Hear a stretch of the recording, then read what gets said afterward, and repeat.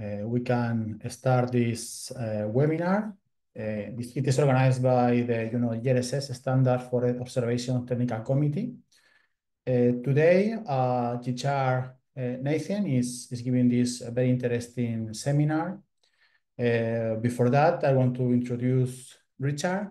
He pursued studies at the University of Texas, receiving a doctoral degree in electrical engineering in 2010, he is a distinguished member of the technical staff at Sandia National Laboratories. He is on temporary assignment as a scientist with the National Geospatial Intelligence Agency, where he managed several SAR collaboration efforts, including open source SAR toolbox and SAR data standards. He, ha he has five patents in the fields of radar and digital communication systems, and he has authored several publications on radar and signal processing.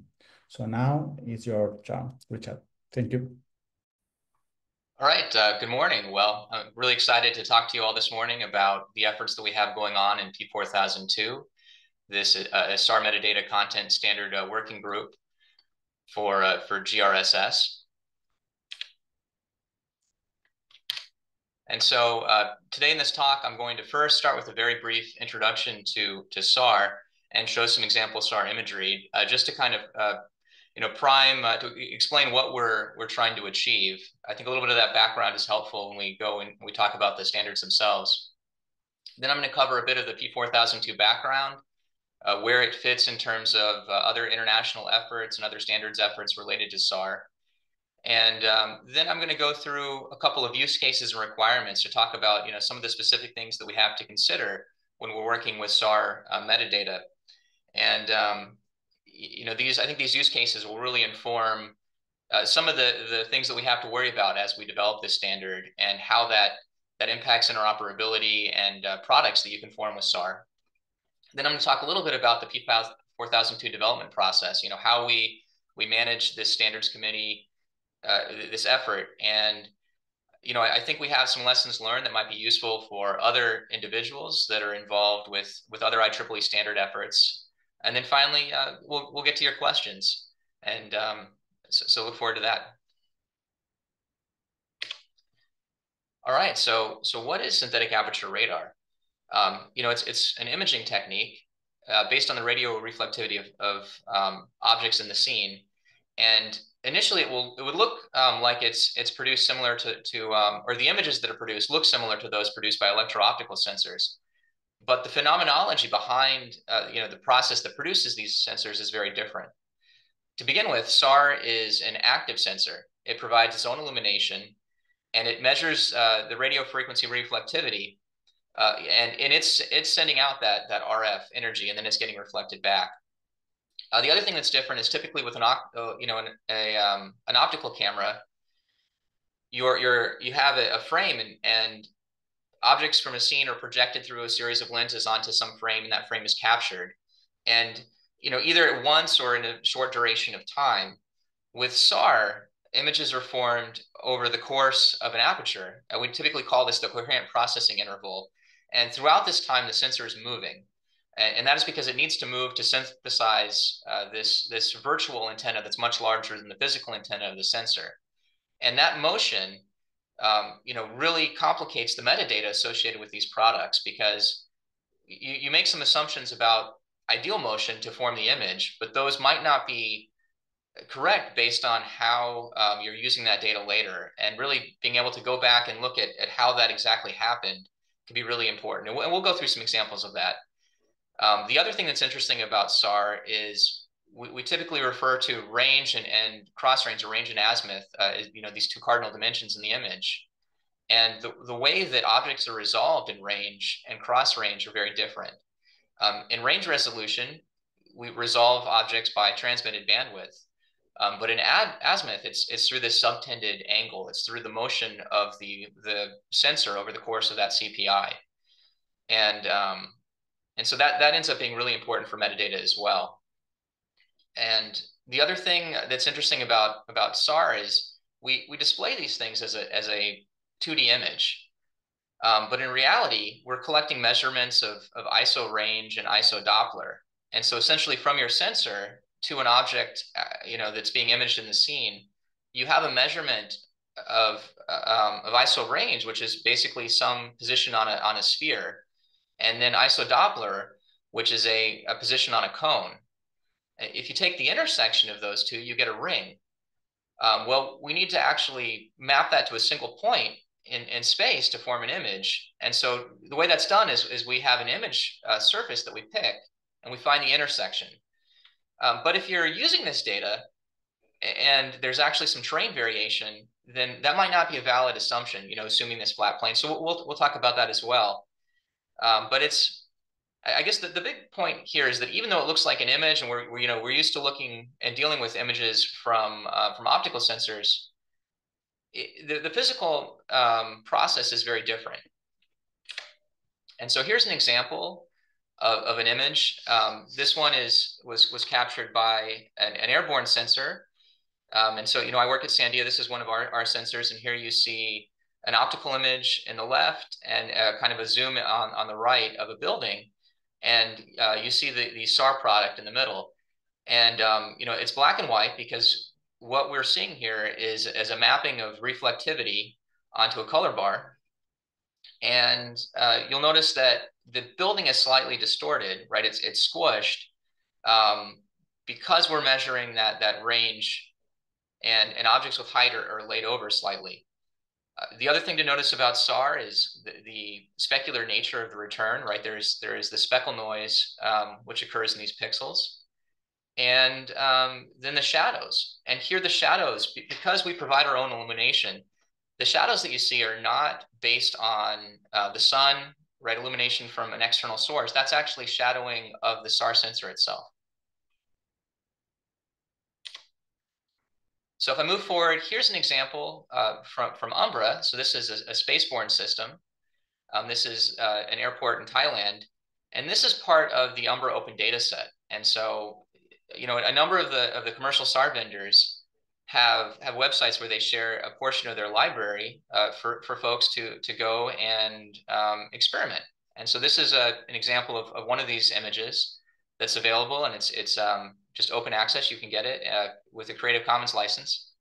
And they have a whole stack of, of images uh, from from this airport over time, and also a number of other scenes uh, around the world. And again, this is um, this is an example from Umbra, but but you can find similar things from from some of the other commercial vendors like ICEYE and, and Capella. All right, so the other thing I wanted to touch upon is the the process to form these images. Uh, you know, it's it's complex and there's a lot of engineering subdisciplines that are involved. And so certainly there's this because it's RF um, and you're you're synthesizing it, you're you're generating it yourself and sending it out. There's a lot of work in electromagnetics and antenna design I'm also looking at propagation. Um, but because the sensor is moving, then there's also a, a, an aerospace component. Um, either if it's on an airborne platform or on a satellite, uh, knowing about uh, inertial measurement and, and how that uh, platform is moving is really important. Um, then displaying these images, again, because they, they, they look like an optical image, but they're not quite, you know, it, it really is important to understand the human interface design.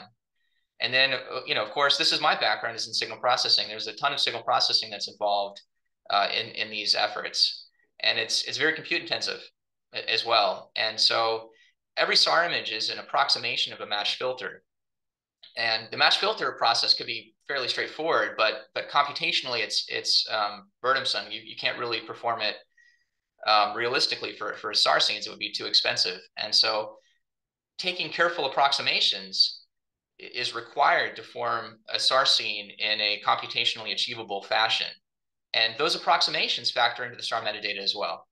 So anyway, that's a little bit of, background and motivation, hopefully for our, our process. Um, and the other thing I want to talk about is, is what a typical SAR processing chain looks like. And so, you know, the first thing that happens is data is collected from a SAR sensor, it's downlinked, and, and then um, that data which is typically, it, you know, the, the raw data is, is often compressed or vector quantized. It has a lot of um, things that are very specific to that sensor. So typically that is taken and from it you produce a, a phase history product, which is a little bit more standardized. And that would be IQ samples um, taken at the antenna, you know, for a pulse. And then these, these pulses are, are collected over time And so you'd have that in associated metadata, and that would be a standardized um, IQ product. Well, that still requires a lot of knowledge about the specifics of how it was collected.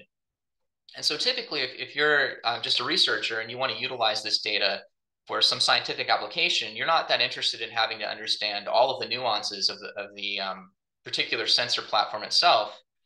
And so the next stage is after you perform this process of image formation. And like I said, that's a that's an approximation of a match filter um, for computational uh, purposes. Then you end up with a complex SAR image and metadata. So each pixel, you still have a magnitude and a phase. So you can measure the phase response um, because it is RF. And so you're at a stage where most of the heavy lifting's been done. The, the product is, is readily um, usable for, for future scientific work, but um, you know, you don't have to worry about all of the complexities of, of the image formation process and all the specifics of the sensor that collected it. So it's a really uh, nice point in, in time uh, for you know something to to be um, to be utilized. And so that is why that is where we are focusing the P4002 effort on what we'd call a single look complex. So a, a single SAR collect complex image, and um, you know that's that's the focus of this effort. You know certainly there's there's um, data layers before that that are more raw, and there's data layers after that that are more processed. But for, for the first effort of the IEEE GRSS, you know, putting out a SAR standard, this point here is really a nice kind of median be between those two. And so now that I've, I've given a little bit of background uh, to, um, you know, what we're trying to achieve, I'd, I'd, like to talk a little bit about where uh, P4002 fits in in the broader SAR, or I'm sorry, the, the broader IEEE ecosystem. And so IEEE has a, a, standards association that manages all of the IEEE standards. And it has a number of committees. Um, you know, I haven't, I haven't listed here, but um, the Audit Committee, New Standards Committee, and Standards Review Committee, and they manage the entire standards process. And so obviously NESCOM looks at proposed standards and they decide, does this really fit with the IEEE mission? Is it within scope of IEEE? Are the right people represented? Is it something we should move forward with? Um, once that happens, then the standards review committee recommends approval or disapproval.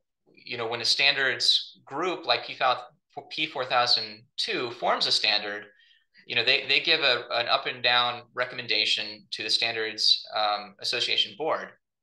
And then there's an audit committee, which is making sure that you're following the right process the whole way through, right? That that um, everyone everyone's voice is getting fully represented. There's no undue influence on the process. And so you know, we um, are, you know, are obviously working with the Standards Association and following their process for the formation of this of this uh, new standard. Now, um, you know, I think you're all probably familiar with GRSS because we're here at its at its webinar. But that is a sensing society, a society in IEEE that is really focused on on both Earth science and then how you utilize remote sensing uh, to, to perform that that that Earth sciences. And so GRSS has a standards committee as uh, you know a subcommittee under the society, and um, it also you know will stand up technical committees to promote advances in areas of member technical interest. And so GRSS I think has currently eight technical committees. One of these technical committees is the GRSS standards for Earth observations. And so this was started, you know, I think circa 2017 to, to really promote um, standards, you know, uh, to, related to generation, distribution, and utilization of remote sensing products. And so they look for areas where a standard could improve remote sensing, and then you know engage members in GRSS to to uh, work on on working this, you know, both both uh, working towards a new standard and also uh, to, to to adopt a standard once it's finished. And then um, things like education and outreach. So, so like this webinar. Um, but there are there are five working groups that are currently sponsored by GRSS, GRSS SC, the Standards Committee, and initiated within the Standards Association um, that have been part of this uh, uh, GSEO initiative. And so those are, are hyperspectral um, SAR, which is this effort, the GNSSR, uh, soil spectroscopy, and RFI and remote sensing. And so that's that's kind of where we fit in this broader effort. I will mention that um, one of the things that, that technical committees do is they sponsor committee meetings at IGARSS. Those those meetings are open to all participants, and so there will be a, a committee meeting um, for the uh, GSEO at, at IGARSS, and, and, hopefully you'll see more uh, P4002 content there. So anyway, that's just a little bit of background about where we fit in in the broader uh, broader ecosystem. And so I'll mention, you know, this uh, the P4002. We had our first meeting in uh, in June of 2018. So we've been going on for about six years. I've been involved uh, for a little over a year. You know, I'm, I'm currently the chair of the committee, but I do want to point out that there's a lot of work that led to this uh, state that we're in now. Um, before I, I, joined, and so I'd really like to thank uh, Dr. Wade Schwartzkopf and Dr. Leland Pierce, and then all the other folks that have participated. To date, we've had about 50 people who have participated in the process and um, you know done some really great work. And we're nearing uh, the point where we can submit our first draft. But um, now that I've, I've kind of covered what P4002 is, I'd like to talk a little bit about other SAR related standards. And so the the um, the first, the earliest SAR metadata format was from the Committee on Earth Observation Satellites, and that was in 1988. It targeted spaceborne collectors, and um, while it was widely adopted, it ended up having limited um, impact on interoperability because um, the sensor-specific formats that were adopted, you know, were rendered incompatible. They all had to have sensor-specific extensions. And so once you added on those extensions, then the workflows that utilize those products uh, ended up being somewhat proprietary. Um, there's also a number of ISO standards that are related to, uh, you know, geo um, remote sensing in general, but also uh, including SAR. So I have these listed here, um, but they're somewhat incomplete. And then, um, you know, the, the last set that I'll mention are, are three standards that are uh, from the US National Geospatial Intelligence Agency. And so these are actually ones that I'm involved with as well in my, my day job. Um, so compensated phase history data, which is that raw, you know, that IQ data prior to image formation. Sensor independent complex data, which is a single look complex product. And then uh, sensor independent derived data, which is taking that complex image product and forming a detected image. And so that middle one, the sensor independent complex data, that is really the closest to what we're trying to do with this P4002 metadata effort. Um, so there are a number of things that, that we can borrow from SICD. There are also some issues with, with um, th that standard as is for adoption in P4002 that we need to address. And so the benefits of SICD are that it fully describes the image data, right? That's an issue with, with um, the ISO standards. They, they don't fully describe the image data. It has support both for the image domain and also the spatial uh, frequency domain, which I'll talk about in a minute. It uh, describes the collection timeline. So it describes that CPI and how things are collected over time. And it provides reference coordinate systems for both transmit and receive phase centers, along with an effective aperture reference point. And so, um, you know, this is important because especially in the in the case with a satellite, the uh, the sensor is moving along. You know, uh, let's say at 5,000 kilometers in elevation, and so it transmits a pulse. Uh, in fact, it's going to probably be transmitting a number of pulses in a row before that first pulse hits the ground and comes back. So, you know, you, you might have a dozen or two dozen pulses in the air prior to the return. And so the sensor has moved quite a bit during that time. And when you're forming an image, um, you have to keep track of both where the transmit point was, the receive point, and then kind of the effective point is if um, the sensor was stationary during that pulse. So it covers all of that. It's, it's all in there. Now, the limitations with SICD is it only supports a single burst. And I'll talk a little bit more about that, what that means in a, in a minute. Uh, but it also only supports a single channel. And so things like polarimetric SAR, which we will we will discuss, uh, that's not included. Um, you know, it only supports a single polarization. Another major issue with with SICD is it is tied to a specific encoding on disk. And so a SICD file is a set of XML meta metadata and then binary data in, in, a, in a file. And so it is dictating how data is written to disk. And for this effort, we don't want to do that. We want to say, okay, here's a set of metadata. You can encode it and you can put it to disk however you'd like. Um, now, the other issue is, is there are some incompatibilities because you know the sensors developed from NGA were really focused on their mission need, um, and so there's some incompatibilities between them um, and the uh, the ISO standard, um, and so you know that that's really where it fits in. So we're going to adopt a number of things from SICD, modify them though to to really fit the needs of P4002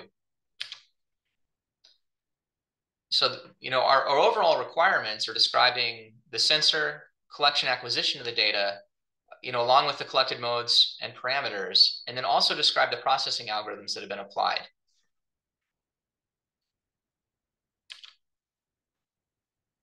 And what this will enable uh, is, is quite powerful. Um, you know as i've talked about SAR processing tools and and and the chain processing chains involved are very complex and expensive to develop historically they've been pipelined. Having a standardization would allow code reuse and amortization of cost. And so you'll see, you know, we have a number of kind of nascent open source efforts that have been moving forward that provide algorithms that can operate on SAR images. Um, but, but also for commercial products, if you're if you're building a new product, you want it to be able to work with as many sensors as as possible, so so people can buy your product and and and use it without you having to spend a lot of time developing specific uh, kind of one-off uh, pieces of code for a particular sensor. The other thing is, is it allows encapsulation of complexity. And we're going to kind of go through this a bit more in some of the vignettes later, but um, the SAR process is very complex. And sometimes you have to dig into a specific part of that process and expose the complexity to do your processing. And, and sometimes you don't. And so having a standard allows you to ignore the complexity um, if you don't have to, to worry about it. And then in, in cases when you do, um, you're able to dig into specifically what happened, maybe the specific timeline in a, in a single pulse, um, you know, and how frequency versus time varied without having to know a lot about the details of the specific sensor. And uh, the other issue that we're seeing is just the number of, of sensors and applications are rapidly increasing. And I'll talk a little bit more about that in a minute too, but um, we're seeing a shift from SAR being the domain of, of folks like myself who do it full time. Um, you know, I, have been been working in SAR for two decades now, and it's all I do. But we're we're seeing this exciting development where non-SAR experts are now able to get SAR collections and apply it to their own problems, and they're able to do it from a number of sensors, you know, and pull in all this disparate data and and really do some exciting things. So it's it's a great thing to happen to SAR but also you know the fact that more non-experts are getting pulled in really um, increases the need for a standard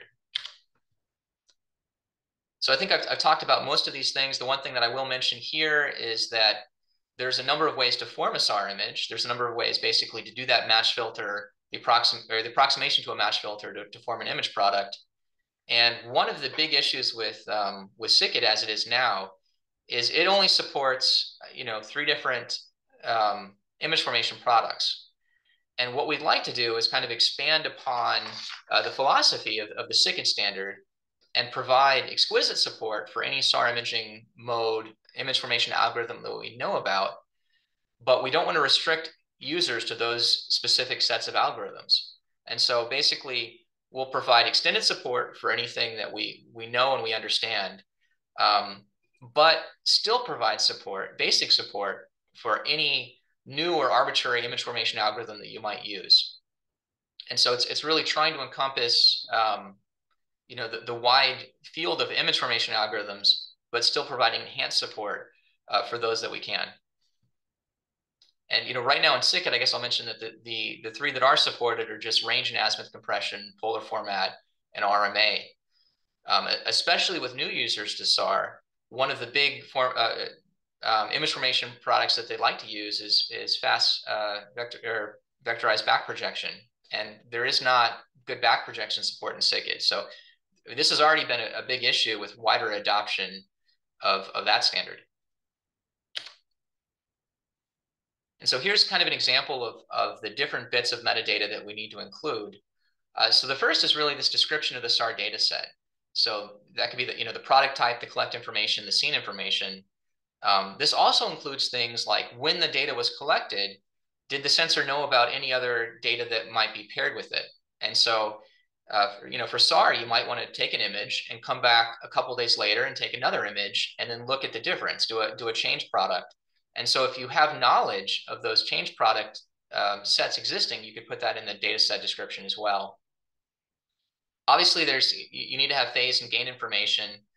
And for a lot of these systems, there's steerable and unsteerable components. And so you, you could have a dish, you could have a, an electronically steered array. So you need to be able to encapsulate that information in the metadata. Um, certainly information about polarization, and then uh, you know what calibration you've done, how, how you've compensated that data for non-idealities of your antenna. The other thing is that all of those have to uh, be recorded versus time because throughout the course of the aperture, you might change, well, you will change where the antenna is pointing because the sensor is moving, but you also might change um, the electric steering components of that array. That might change the calibration. And um, you, you also have to keep track of, of just how it's steered. And if you're on a spacecraft and the antenna is rotating, then your polarization vectors could also be rotating. So all of those things have to be encapsulated in, in this, uh, this file. Um, certainly, you know, the, the radar waveform is really important.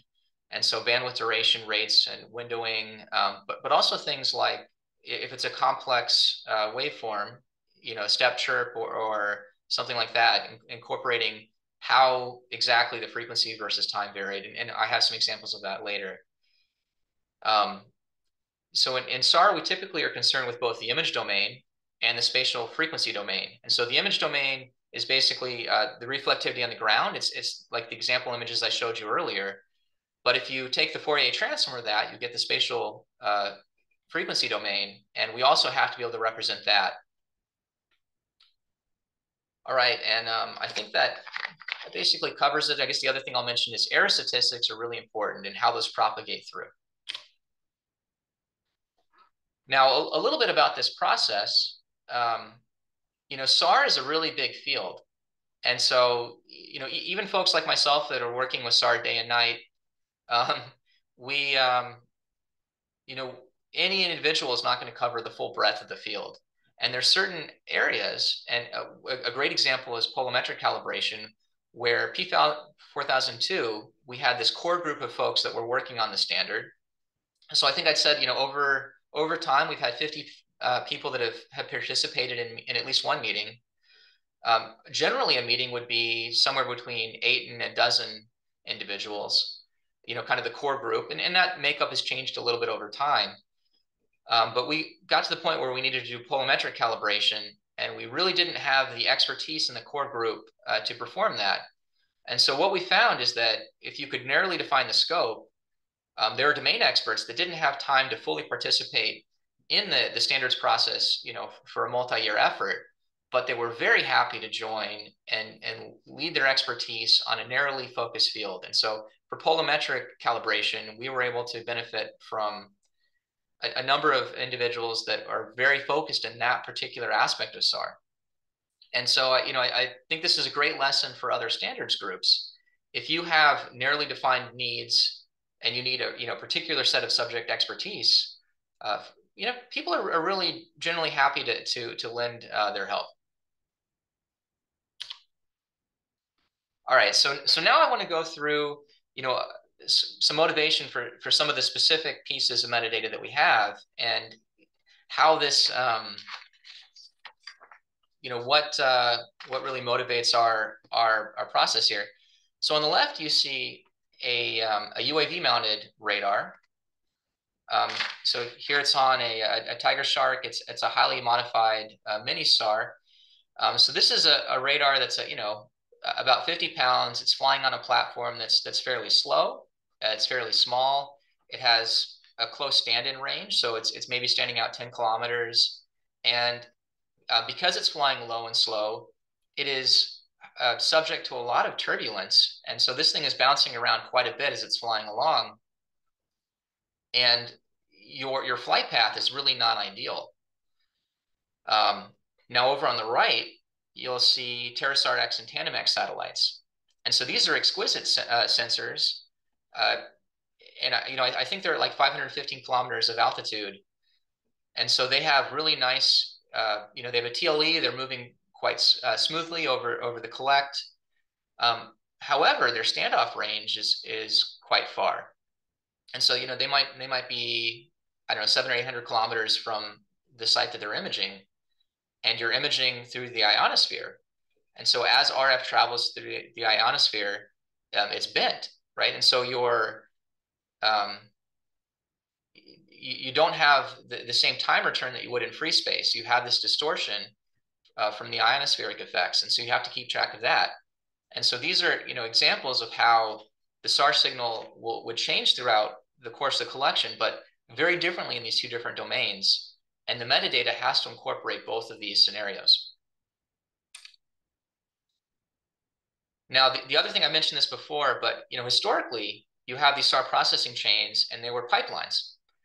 And you, you often would have an expert and they were you know, used to using one uh, particular set of data. So for instance, in graduate school, I did a lot of processing of ERS1 uh, data, right?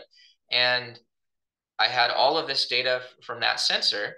I had uh, processing chains that were very complex, but they were dedicated to that sensor. And, um, you know, that's what I did so it was all it was one pipeline for that sensor and the processing of that sensor's data and that processing chain would look very different from a TerraSAR or ERS versus a like a mini-SAR, like the, the, the small UAV example I showed. But uh, you know this is changing. Instead of having you know a, a you know a very small number of sensors globally, there are many dozens of civil and commercial SAR missions. A lot of this data is freely available to the public, or um, you know, it's available to purchase for fairly low cost. It's rapidly growing. Um, I, I, you know, I think a good example of this is just this transporter launch a couple months ago. There were nine SAR satellites on that one launch vehicle. It's a pretty exciting time uh, to be in this field. And so this is all driving this shift from pipelines utilized by experts to you know workflows where everyone. This uh, democratization of SAR data, so a really positive thing for the community, but everybody's using it and often using data from many sensors in their workflow.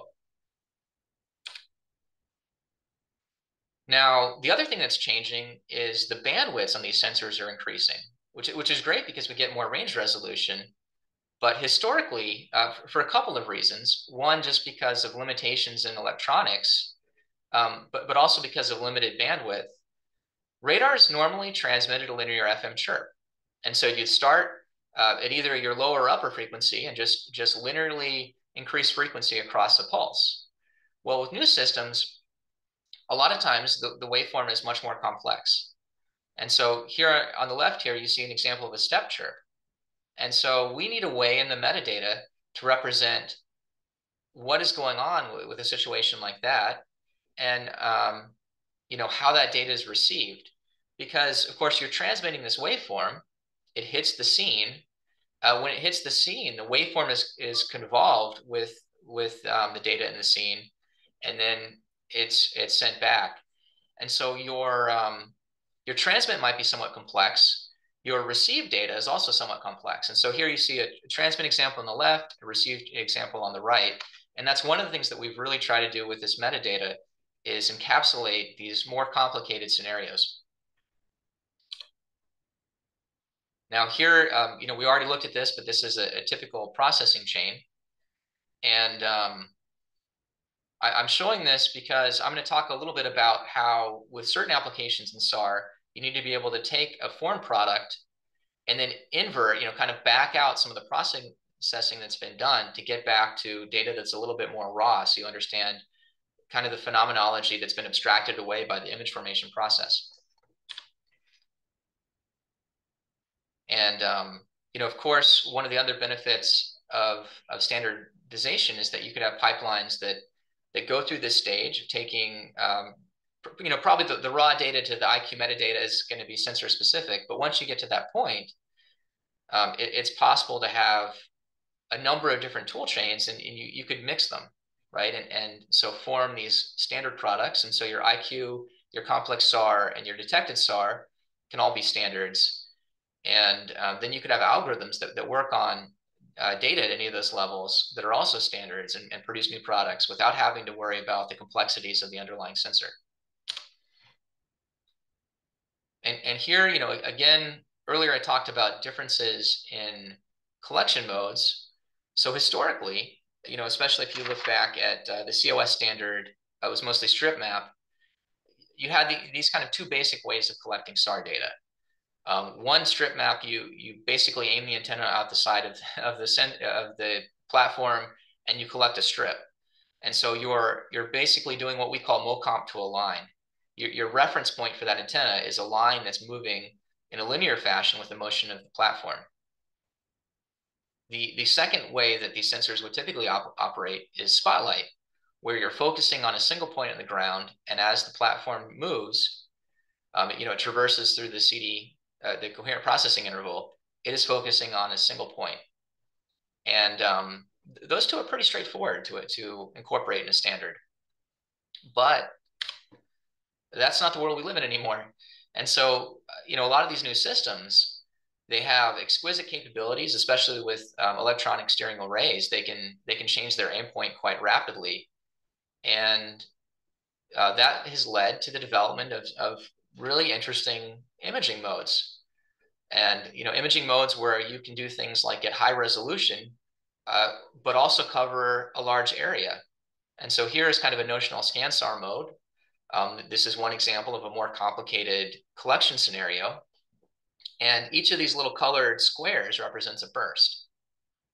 And so you might end up with a product where it's not easily described as a single strip map or single spotlight collect.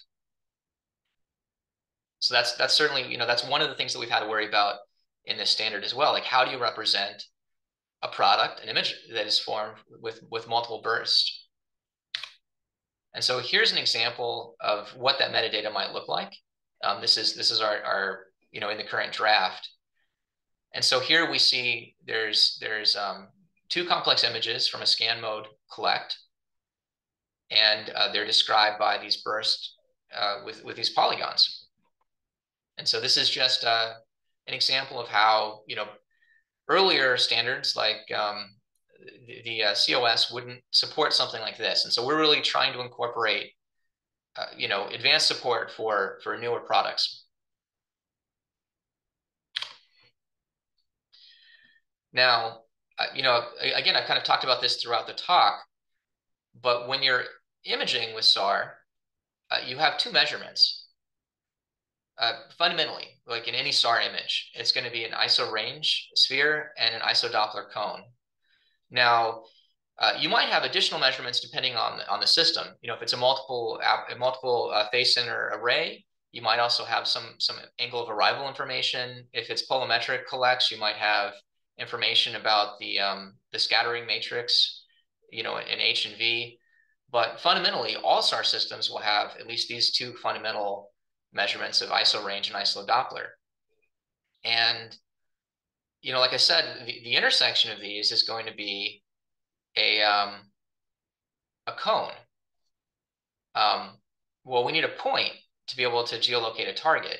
And so here on the right, you'll see what happens. You have this, uh, um, I'm sorry, not a, not a cone, but a ring. You have this ring and you intersect it with an image plane. Um, however, sometimes we want to go back and we want to we want to back that out. We want to go back to the range and Doppler and really understand how that was done. And so here's an example of, of why we might do that. And so in, in StereoSAR, you're able to take images that are collected from different uh, perspectives. Uh, you know, you have different geometry, and you're able to take those uh, those measurements, and instead of intersecting the, the the ring of a single image with an image plane, you intersect the two rings together, and you're able to get a height map. And so this is, you know, it's an interesting product if you want to pull out height information um, from images that are not coherent. And so this requires detailed information about geometry, timing, and um, you know that needs to be included in the metadata standard. And so this is an example of where you know you're moving beyond just just the image product. The other thing that's really important is that error statistics you know, error is generated at different stages of the uh, of the formation process. A good example is there's going to be some unknown amount of, of extra range delay in your sensor, and there's also some uncertainty in the position of the platform, and you know that's probably much um, much less uncertainty for a you know a highly sophisticated calibrated satellite versus a UAV that's bouncing around. Uh, but either way, you need to understand what that error propagation is and how it's propagated through the system and, and the processing chain. And then that will lead to your final error bound on, on uh, for example, your stereo product.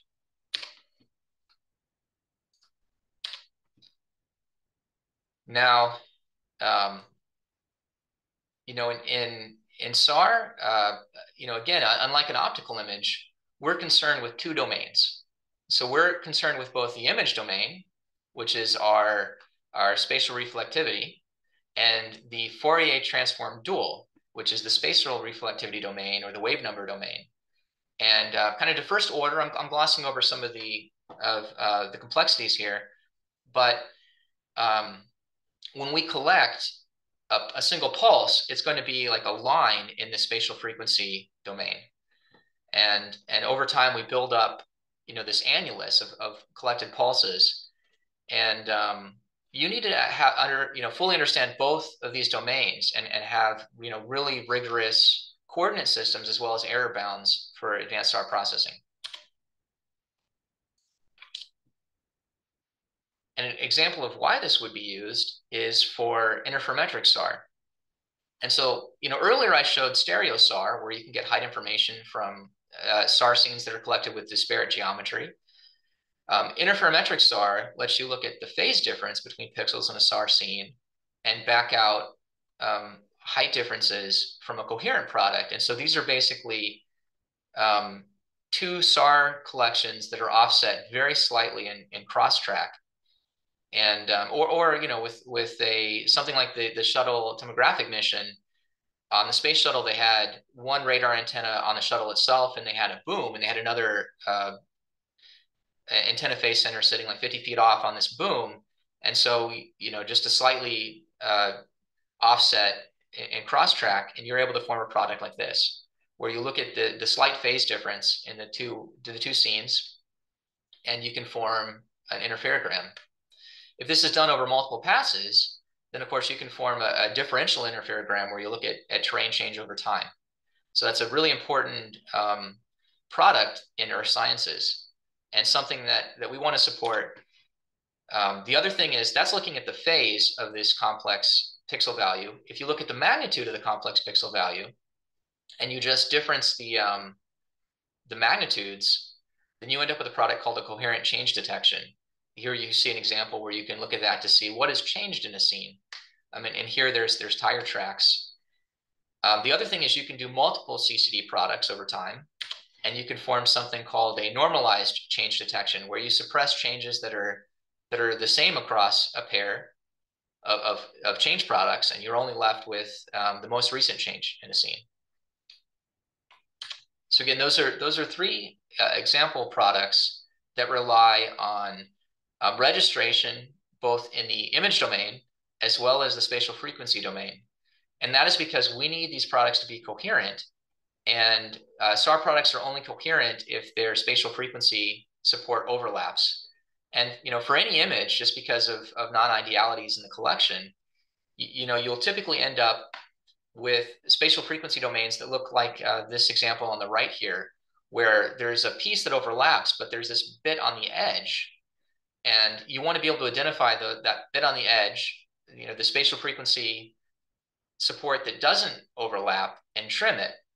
Um, because if you don't trim it, you're adding noise to your product. And, uh, you know, we don't want that. So this is, you know, this is another, just an example of how really careful information on, on both domains is important in your metadata.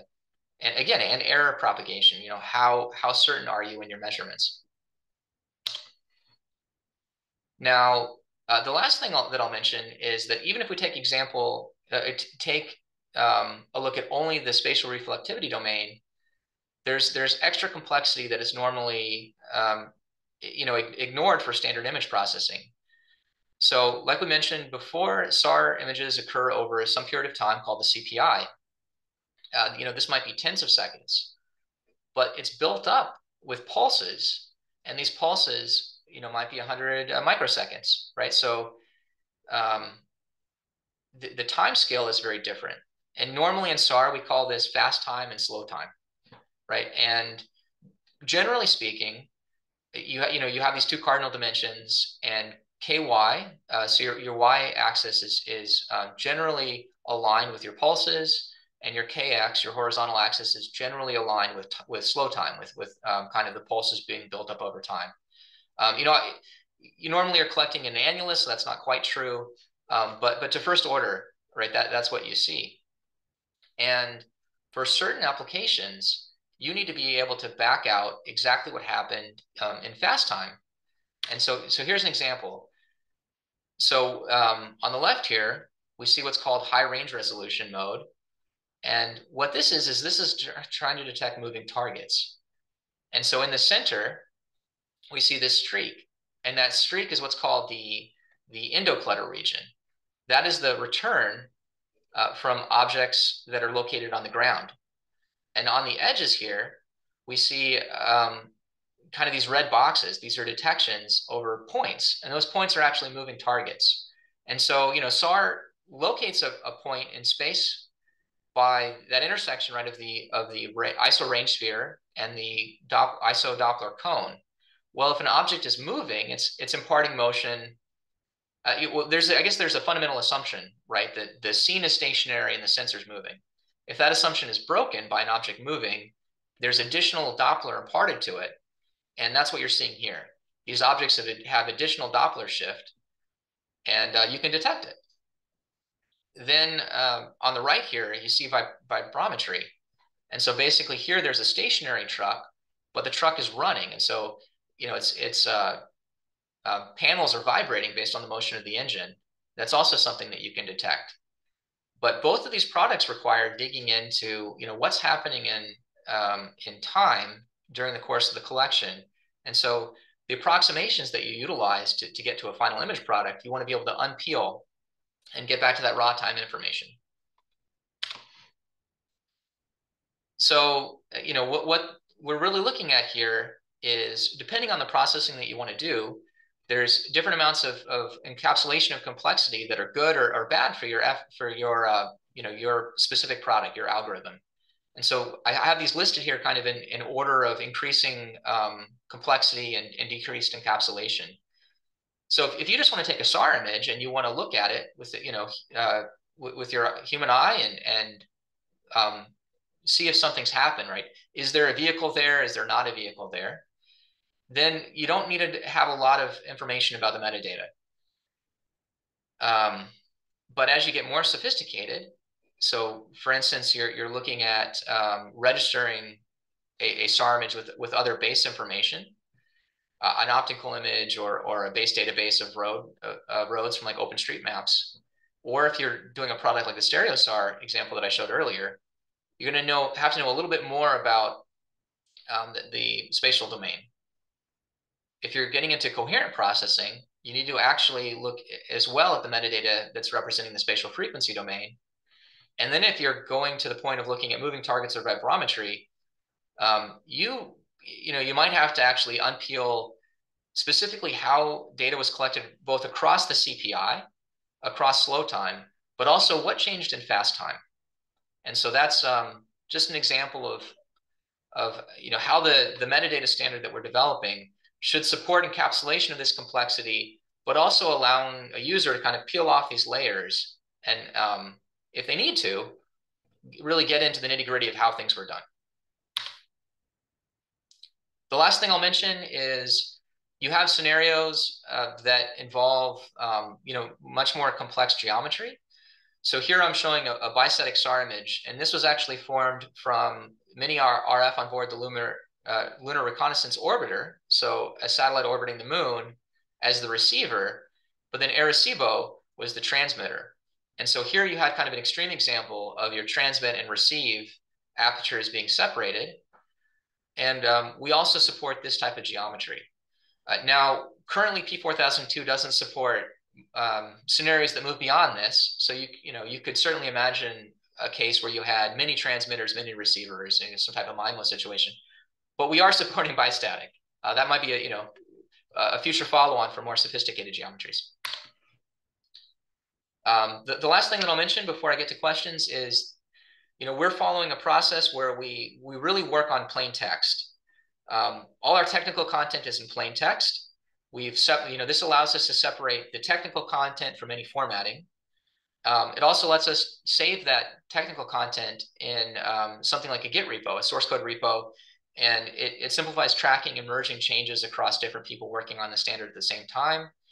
Um, we're able to utilize a, a, a, lot of tools that are developed for um, software and, and bring those right into the standards process. Um, we've also benefited from a number of open source tools and standards. Uh, so, you know, a few of those include Markdown, AsciiDoc, Metanorma, and PlantUML. Um, Markdown was the markup language that we originally used. Uh, that's the language that's that's used in um, in GitHub, for example, for documentation. And we su subsequently adopted this new Metanorma tool, which is a standards authoring and publishing framework that provides an IEEE standards module. So it's been really helpful. I, I highly recommend it. Um, but Metanorma uses a, a slightly different markup language, one called AsciiDoc. And so we took our Markdown and we converted it to AsciiDoc a pretty straightforward conversion because they're both ba based on plain text. There weren't a lot of changes in the, in the language features between the two, um, but we did that translation. And um, doing so, adopting AsciiDoc and Metanorma also let us use PlantUML to produce a UML version of the metadata standard. And so again, you know, we have our, our technical content is all in plain text, and we're able to use these tools to take it and, and produce formatted documents and formatted UMLs and, and easily track changes. So this has been a, a you know a pretty good process for us, something that I recommend um, certainly for adoption by other other uh, efforts. And um, I, I, think um, that concludes my content. I hope that gave you kind of an overview of of our history, uh, what we're trying to achieve, and um, and how we think it could be applied.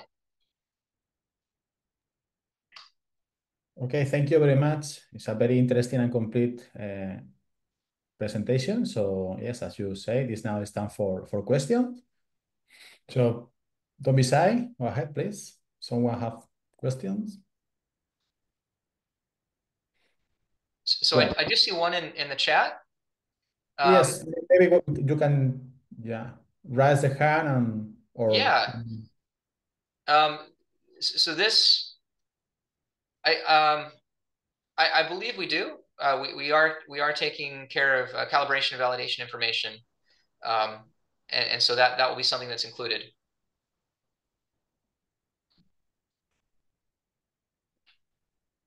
I have a few questions, Richard, or comments. Uh, I would like that you have some minutes. I think that would be interesting for the audience if you can can highlight what is really new in this standard as compared with previous standard by CEOS?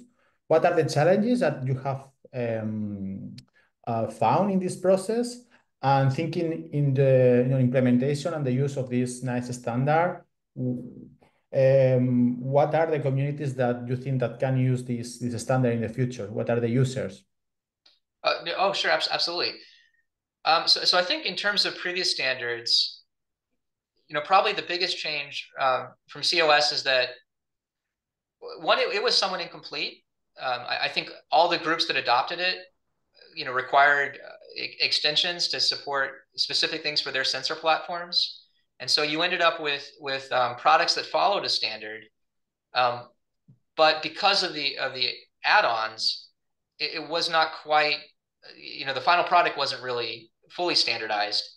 Um, and, and the other thing is it it didn't support these more complicated modes, which is why you've seen uh, the, the larger international uh, systems, things like TerraSAR, move away from from using that because the, the, you, you can't encode things like this uh, ScanSAR mode or some of these more complicated burst modes. And so that I think that's really been um, the biggest limitation is we've um, seen kind of more um, I don't want to call it esoteric, but, but more sophisticated uh, techniques. And as the sophistication of the imaging and collection processes have changed, you know, the standards don't support these new modes. Um, so the, the, the multi-burst, that's a big issue. Um, you know, if we look at SICD, the, the, single look complex standard that's probably the most comprehensive, um, you know, it only supports three image formation modes. Uh, so, so range migration, uh, uh, polar format, PFA, um, and then uh, just uh, range azimuth uh, compression. And so, you know, that's limiting as well, right? The, the um, that's really works well for systems that that focus on spotlight collects. Um, has some support for strip map with with the range um, migration, but but it's limited. And um, you know, back projection is a big thing now. A lot of a lot of uh, uh, sensors are doing back projection and projecting to a DEM instead of uh, so, so projecting to an image uh, surface that's that follows a, a, digital elevation model rather than a, a, a, surface. And so none of those things are supported. Um, and so I think, you know, that's some of the big limitations. Right, right. I think that that's a great uh, job. So congratulations. Um, regarding oh, final user um, communities that uh, yeah. So, so in terms of users, you know, I, I think certainly we have kind of the, the Earth Science Group doing interferometric and polarimetric processing um, from the, from these big like civil and and um, commercial sensors. So things like TerraSAR and Sentinel. Um, I, I, think we'd also see anybody that's utilizing commercial data. Um, so the, the the the spotlight collections from from Umbra, Capella, ICEYE, um, some of the other new. I you know I, I, know I'm missing some of the new companies coming on board, um, but the, the, folks that are looking at those products, often it'll be kind of a, a more niche application, uh, maybe for, um, it's, so for, for, like a commercial real estate developer or um, people looking at where to put new road networks or looking at traffic. Uh, you know, mm-hmm. I, I, think also you have bankers that are interested in counting semis and parking lots and distribution centers to try to understand how retail traffic is changing you know, all of those things I think would be enabled by by this standard. Um, and then certainly I think all the uh, there's a lot of, of airborne sensors, so things like that MiniSAR that I showed. Um, mm-hmm. So so users that are looking at those um, both for civil applications, um, eh, you know, as, as well as um, maybe defense. That's right. That's right. Oh, yeah. Um, you know, I, I guess I'll mention one other set of users uh, there might be some limited utility towards autonomous driving. You know, I, I, think that some some of the SAR systems that people are looking at for for vehicle traffic might be. I, I probably depends on how they're set up. You know, if they're if they're a sophisticated MIMO, uh, that might be something that would require require an extension. Good. So we have time for a few more questions. So don't be shy. Let's go ahead. You can raise the hand. I think there is one question here. Uh, um, yeah, let's see. For users and consumers, um, could you share open source tools URLs? So I, I think that I would point you towards um, on, on, GitHub. Um, there is a product called SARPy, and uh, also the MATLAB SAR toolkit. And so SARPy is written in Python, and then you know MATLAB SAR toolkit is obviously written in, in MATLAB. Um, and and those are you know two open source efforts. Uh, I, the, the ones I'm quite familiar with because they're they're developed by NGA as part of my portfolio there. Um, but they provide the ability to to ingest uh, you know a variety of, of SAR formats, in particular the MATLAB version. Um, we're we're expanding support in the Python. It's not quite uh, to the same level, but we hope to get there. Um, but you can ingest a wide variety of different sensors and then write out. Um, currently SICD, and you know hopefully once uh, P4002 is further along, that's something we'd support more uh, readily there as well. Um, ah, yeah. So is there any materials in order to, so I, I um, the question is, is there any materials in order to use SAR imagery for identification of agricultural practices? I guess in particular, organic or conventional crops. Um, there, there, certainly uh, is a lot of application towards SAR uh, for uh, um, agriculture, right? I mean, looking at at um, the stage of crop development, uh, at when a, a, field has been harvested, and the density of, of foliage in a particular crop. Um, and, and, this is an area where you'd probably use polarimetric SAR. I don't know if there's any particular techniques that could differentiate between organic and conventional uh, production. I I would not be surprised if there are. Um, you know, for instance, with a conventional, you know, maybe there's some more uniformity in the um, in the density of the crop. Uh, I, am not I'm not sure, but I, I think I think the answer is is likely yes. Um, all right, so then uh, we have, we have another question. How can we track moving vehicles in real time using SAR images?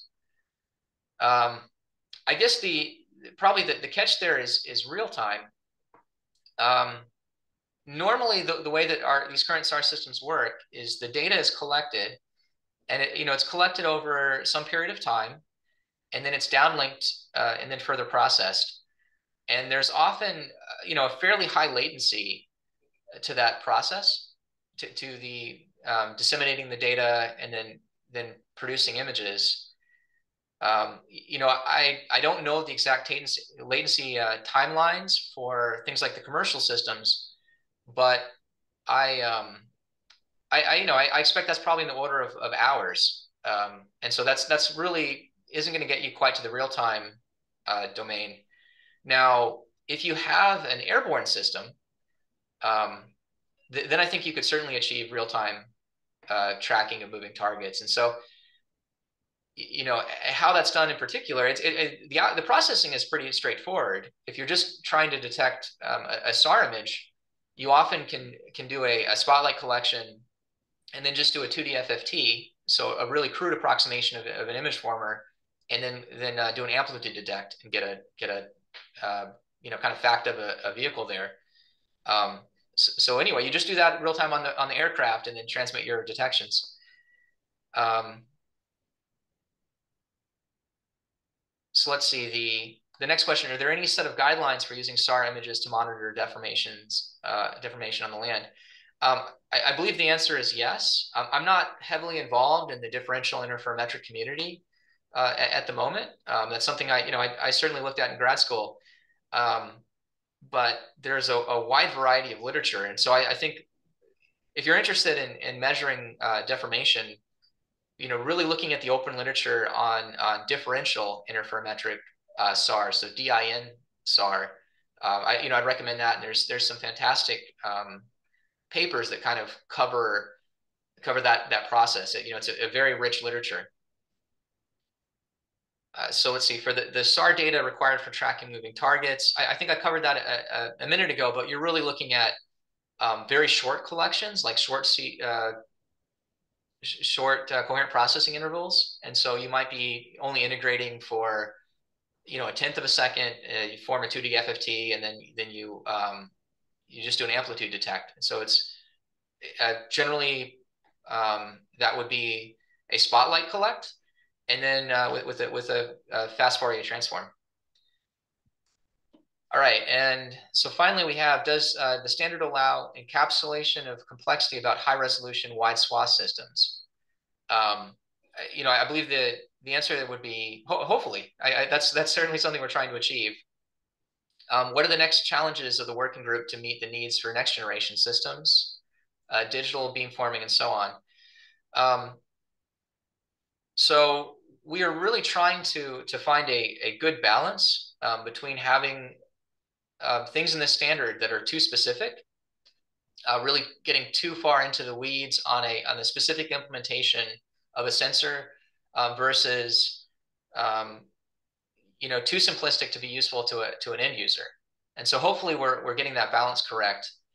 But um, tracking, um, you know, the the uh, beamforming over time is certainly something that we're we're trying to inc incorporate. Um, I think that one of the uh, the challenges that might um, or things that we, we might need to look at next, in particular, um, with regard to, to that uh, process, is, is, looking at other data layers. If you're really needing to get into uh, specifics of digital beamforming, you might want to, instead of looking at the single look complex, kind of the formed image, you might want to go back an additional layer to what would be covered um, by like the NGA co uh, compensated phase history data standard so the the phase history layer, and that's that's not something that's covered by this P4002 effort. Um, I, you know, I, I, have a feeling that that is something that would be looked at in the future um, by this community. And let's see what uh, uh, another question here: What open source software provides good uh, capability of processing SAR data? Um, so, so I think I mentioned, you know, two that, that I work with, uh, SARPy and the MATLAB SAR Toolbox. Those are both available on, on GitHub. Um, and th that provides some capability. I, I, guess the question is, you know, what amount of processing are you trying to do? Or if you want to go from from a phase history to a formed image, uh, you know, including image formation, it probably depends on um, you, know the, the specifics of the image formation that you're trying to do right is it polar format is it strip map uh, what's the source of the data and I, I know that uh, MATLAB SAR Toolbox and, you know includes a, uh, a polar format code there is open source polar format code that's available in a journal article um, from uh, the Air Force Research Laboratory. Uh, I think they also provide back projection. Um, so, so those are certainly open source image formation tools that are out there. I don't know. I, am sure there are more, but I, am not familiar with them. And then um, let's see, uh, another question here. Would you please introduce a software for processing SAR images except SARscape and Snap? Um, you know, so, so I think, I, you know, I apologize. I think other than the ones I mentioned, I'm, I'm not familiar. I, I know that there are more, um, but, but those are the ones that I'm familiar with. Okay, I think it was an excellent talk. Uh, we, we are running out of time, so we have time for one last question or comment by your side.